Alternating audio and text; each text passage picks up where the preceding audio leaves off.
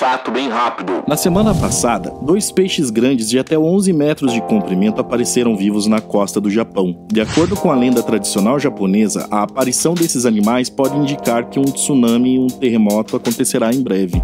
Conhecido popularmente como peixe remo, o animal tido como mensageiro do palácio do Mar de Deus e sua aparição na superfície, segundo a lenda, pode indicar um mau presságio. Esse peixe normalmente vive no fundo do mar, podendo vir à superfície quando está doente ou morrendo. Nos últimos meses, vários peixes dessa mesma espécie apareceram no Japão. Fiéis à lenda, dizem que centenas de peixes surgiram na costa do país meses antes do terremoto de Fukushima em 2011 e do tsunami que aconteceu depois dele. Mais de 20 mil pessoas morreram nesse desastre.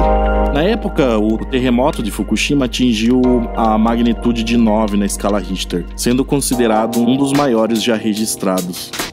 Enquanto especialistas tentam entender as razões que levaram o peixe remo a aparecer na superfície, usuários das redes sociais no Japão dizem que os avistamentos representam um desastre. Em entrevista à CNN, Kazusa Saiba, tratador do aquário Uozu, disse que não há nenhuma evidência científica para a teoria de que os peixes aparecem antes de grandes terremotos. Ainda assim, Saiba diz que não pode negar 100% dessa possibilidade. Uma das razões dadas por especialistas para o aparecimento desses animais é o aquecimento global, fenômeno que vem nos últimos anos impactando na vida marinha e selvagem. Bom, torcemos para que seja só isso daí mesmo. Gostou do vídeo? Deixa seu like, se inscreva no canal e te vejo no vídeo de amanhã, hein? Falou!